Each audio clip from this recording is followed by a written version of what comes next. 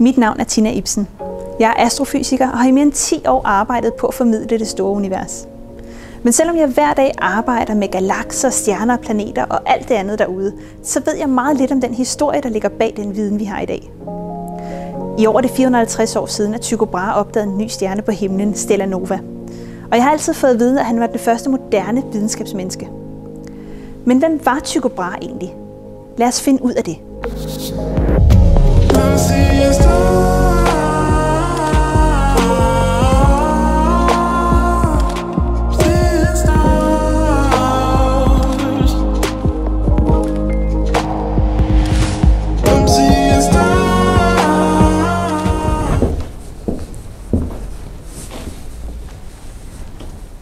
I år er det 450 år siden, at Tycho Brahe så en ny stjerne på himlen.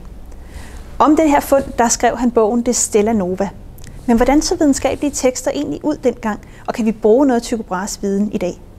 Jeg tager til Roskilde Kloster for at se et af de få tilbageværende eksemplarer af Det Stella Nova.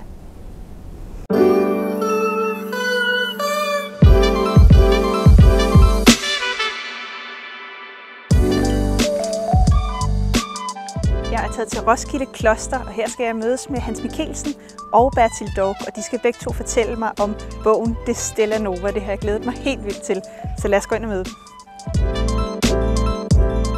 Jeg hedder Hans Mikkelsen, og jeg er stiftbibliotekar i Roskilde, og samtidig bibliotekar ved Karen Brares Bibliotek, som opbevares her i Roskilde Kloster. Roskilde Kloster er en stiftelse, der er oprettet i øh, 1699, og det blev så i 1974 fusioneret med Odense Adel Jomfru Kloster til Roskilde Kloster.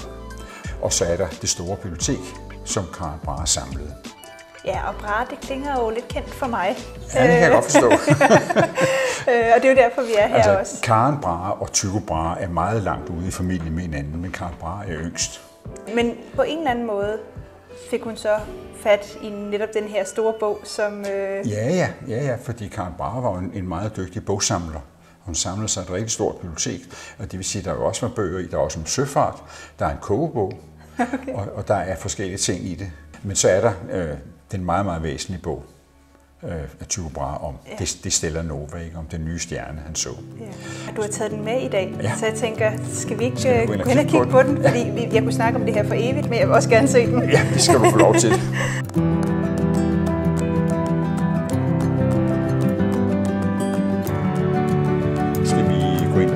gøre det, ja. Åh, det er også et flot lokale herinde. Ja, det er, et meget, det er et meget dejligt rum. Og her har man så en kopi af den maleri af Tycho Brahe. Er det, ja. Og her har vi så Karen Brahe, som er hende, der skabte bogsamlingen, eller rettere sagt, udbygget den. Og det vil så også sige, at uh, hovedpersonen i dag er, er det, det er denne her, Hans? Og det her, ja, ja. Og det her er hovedpersonen det er Tycho Brahes bog om, om den nye stjerne, om de, op, eller om de øh, observationer, han gjorde sig den dag i november, hvor han opdagede en ny stjerne. Og det er jo som tidens sprog skrevet på latin, men lidt af det kan vi dog læse. Der står Tychonis Brahe Dani, altså danskeren Tycho Brahe. Mm. Og så det Nova et nullius avi og så videre om den nye stjerne. Okay. Og så er der så nogen på et eller andet tidspunkt, yeah. der har skrevet noter her. Det dem har vi ikke decifreret endnu. Nej, okay. Så der er simpelthen noget, øh, noget oversættelsesarbejde, der mangler? Ja, ja, der, der, der kan sagtens være noget, der, der er jo altid noget, man kan finde mere, ja. ikke? Og lige pludselig nogen, der ser et bogstav, det er faktisk et andet, end det vi troede, det var. Så, mm. videre, ikke?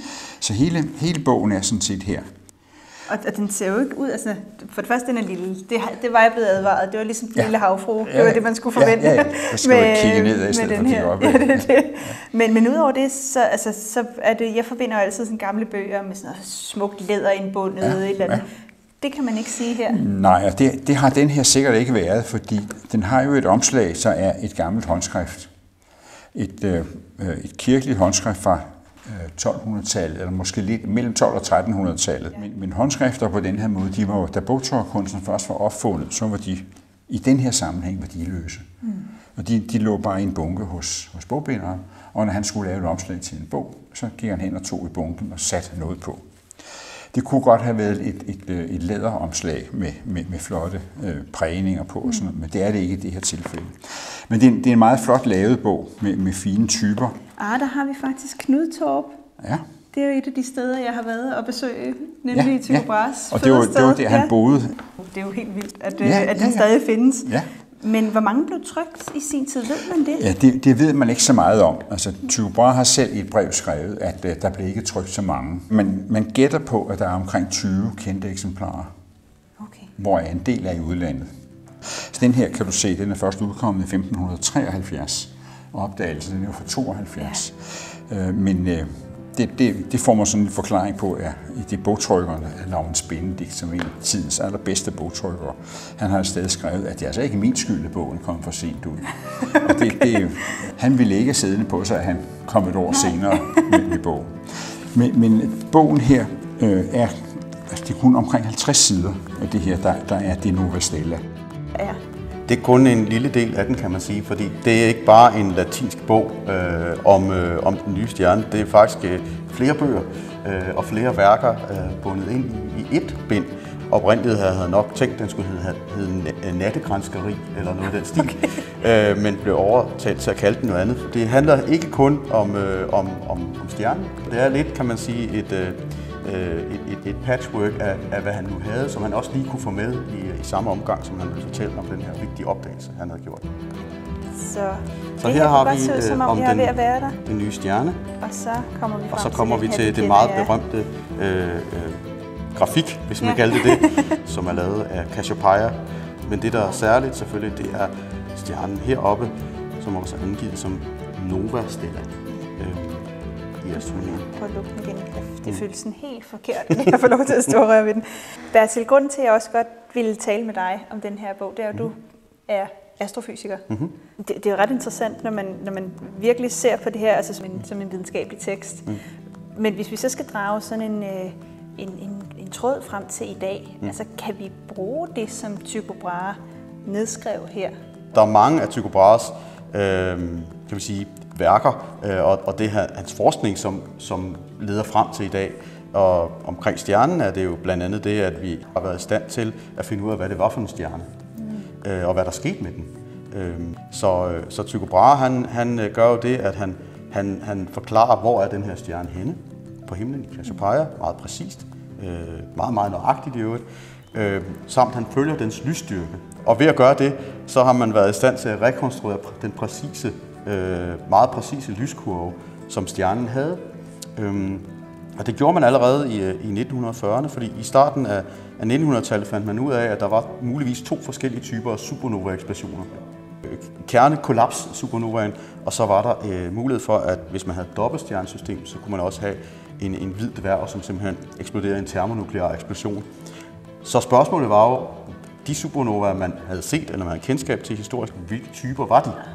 Og ved at kigge på afhandlingen her, og så nogle af de senere ting, der kom fra Tycho Brahe, så kunne man afgøre allerede i, i, i 1945, at det her det var en supernova af type 1A, altså en, øh, en hvid dværg øh, i et dobbeltstjernesystem, som får masse fra en anden stjerne, som ryger over på den, så den når en kritisk masse og springer i luften.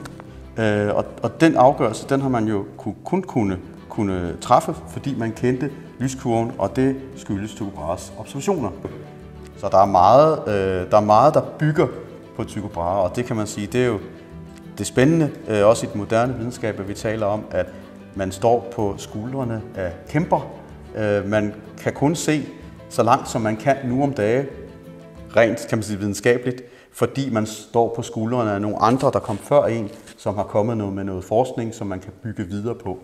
Og der kan man sige, hvis man går tilbage af den trappe af kæmper, der står på hinanden, fra, fra, fra Einstein, Newton, Galilei, Kepler, så kommer man til Tycho Brahe, som en af de grundlæggende skuldre, øh, som vi alle sammen står på. Vi står på skuldrene af kæmper. Eller i hvert tilfælde på skuldrene af de mennesker, som har arbejdet på at blive klogere på vores verden og os selv. Jeg havde forestillet mig det Stella Nova som et episk hovedværk, læderimbundet og i stort format. Men det viser jo meget fint, at man ikke kan bedømme en bog på dens omslag. Den videnskabelige tekst minder på nogen måde om det, som vi kender i dag. Men at der også er digte og andre ting, som vi aldrig ville finde i dag, det er godt nok helt anderledes.